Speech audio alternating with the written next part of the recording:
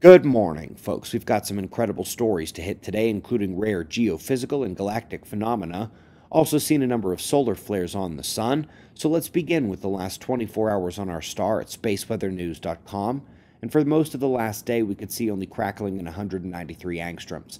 Minor pops, no associated CMEs, then limb pops that did produce CMEs aimed away from Earth. There were two M class solar flares yesterday, and you can watch them as little flashes from the bright northern active region. That's if you can pull your eyes from the filaments and ejecta coming off the limbs. All is quiet in the solar wind and geomagnetic conditions, so let's go to the story of an asteroid they spotted before it entered the atmosphere. Folks, this is why I don't put a ton of focus on near Earth asteroid programs. Fireballs are seen every day.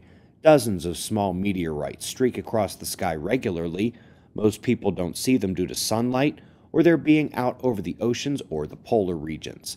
This is only the fifth one they ever spotted before it hit the atmosphere. 99.999% of fireballs are not seen beforehand. Up next, it's the Global Climate Report, and get ready.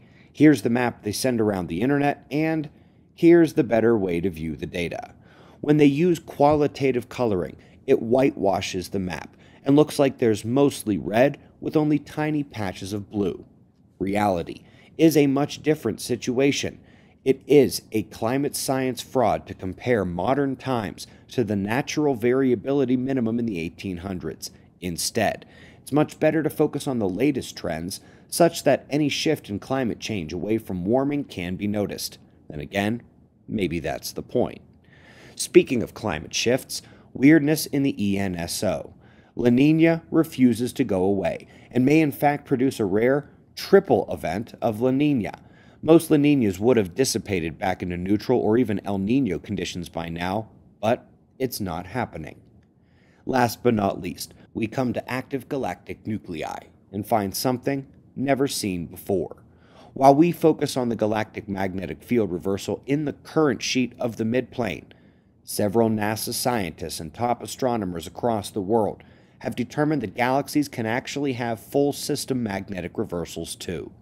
Just like we see with the current sheet solar wind magnetic reversal every 5 to 10 days, but where the Sun itself reverses its full system magnetic field every 11 years, what we're talking about here is not the galactic current sheet, but a nuclear magnetic flux inversion event, or magnetic reversal.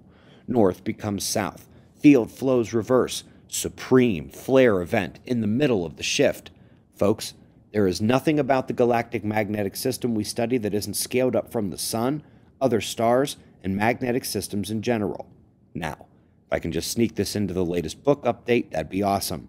You should be able to pre order the book or get the PDF within about a week or two. We greatly appreciate your support. We've got wind maps and shots of our star to close. Subscribe, and we'll do this all again tomorrow right here, but right now it's 5:30 a.m. in the new Valley of the Sun. Eyes open, no fear. Be safe, everyone.